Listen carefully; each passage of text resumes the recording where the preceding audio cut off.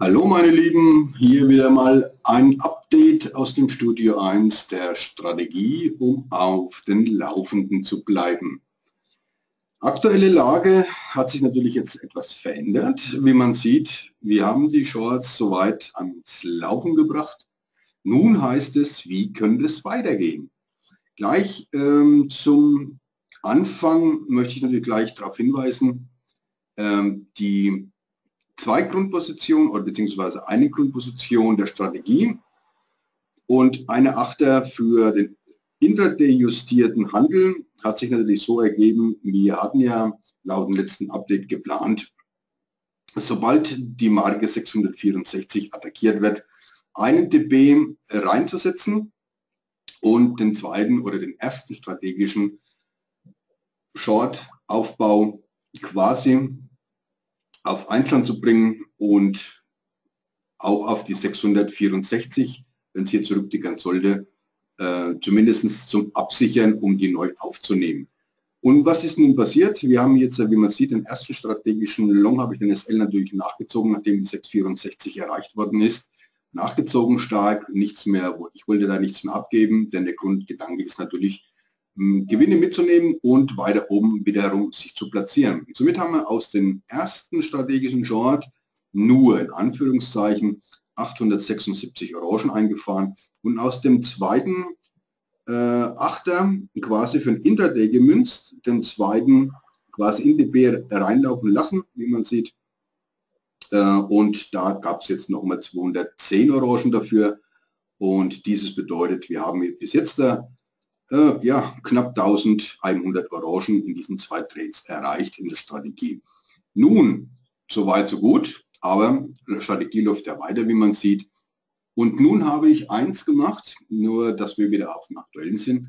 Ich habe hier den zweiten Intraday, den 8. von der 770 jetzt abges, äh, nicht abgesichert, aber im DB angegeben 563. Somit, wenn dieses erreicht wird, fliegt natürlich dieser äh, 777er auch raus. Warum? Weil ich vermute mal stark, dass wir einen Rücklauf bekommen werden. Grundgedanke wie immer, neu sich aufzubauen in der Strategie. Also einmal ausstoppen lassen und dann kaufen wir unsere strategischen Points oder Positionen wieder zurück. Und das machen wir gleich, bevor wir dann kurz in die Analyse reingehen. Und zwar kaufen wir äh, einmal einen Achter zurück. Und zwar mit Limit gehen wir rein an den Widerstand 10,726, was vorher Unterstützung war, bis 10,738. Somit setzen wir hier einen äh, Short-Einstieg 10,7 37 ein. 10737. Momentchen. SL bleibt natürlich klar, wie vorher auch.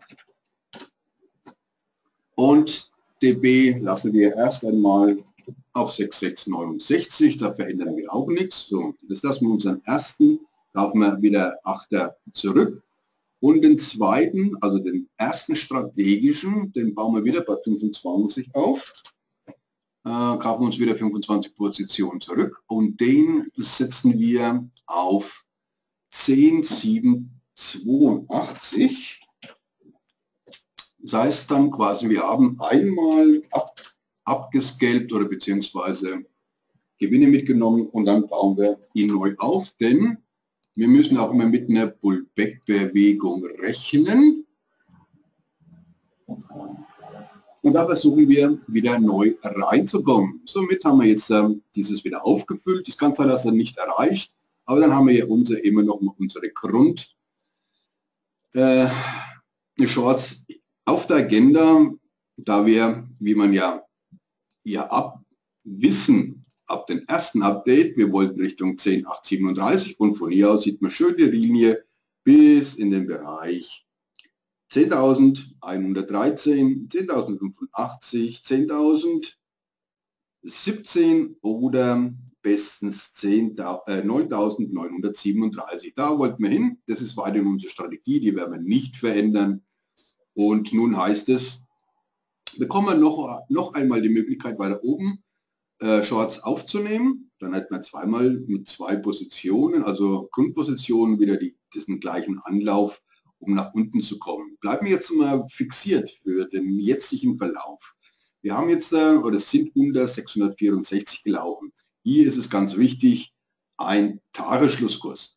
Das heißt, sollten wir einen Tagesschlusskurs unter 10,664 schaffen, aus Bärensicht, sollte das nächste Anlaufziel 10,563 bis 10,530 sein.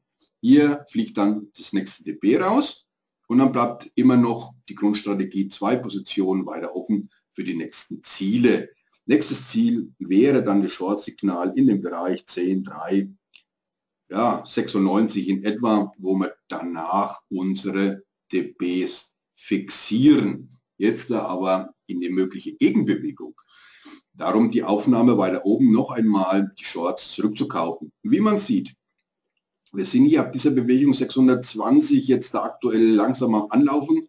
Das heißt 620 und Intraday haben wir ja jetzt im Augenblick fixiert, ein mögliches Anlaufziel laufen Indikator bei 617, also Kreuzunterstützung und somit noch einmal ein bisschen Buffer dazwischen 600 und 7 wäre ein schönes Anlaufziel, also 620 bis 607. Hier die Möglichkeit, dann spätestens wieder die Bullen kurzfristig nach oben zu traben. Und da könnten die Bereiche anvisiert werden. Nummer 1, um uns 1 zu stoppen, die 736.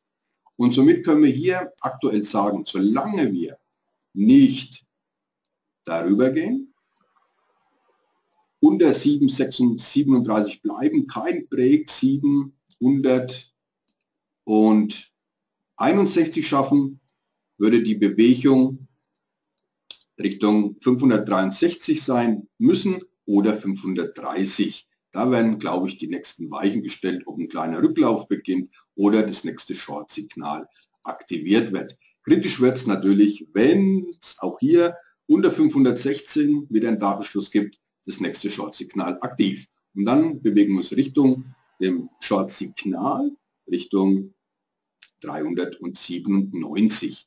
Also soweit wollen wir jetzt noch nicht denken. Wir freuen uns darüber, dass eventuell die Bullen jetzt sich ein Herz fassen, eher kurzen Boden bilden und versuchen, Richtung den neuen Einstopp-Level 736 zu marschieren.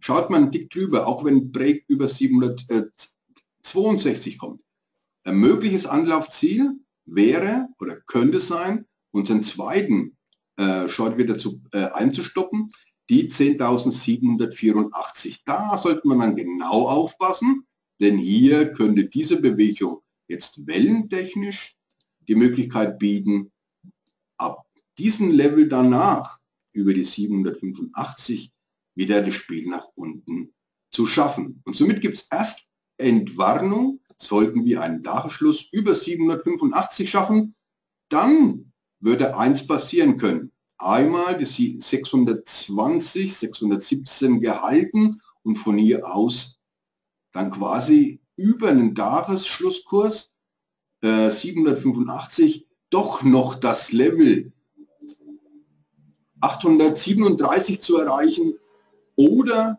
857 oder 930, äh, 934 oder sogar 11.087.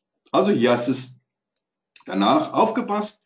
Das ist der Grundstock, wie es weiterlaufen kann. Und solange wir A unter 10.086 bleiben, natürlich immer mit zwei, drei Punkten Filter, ist ja klar.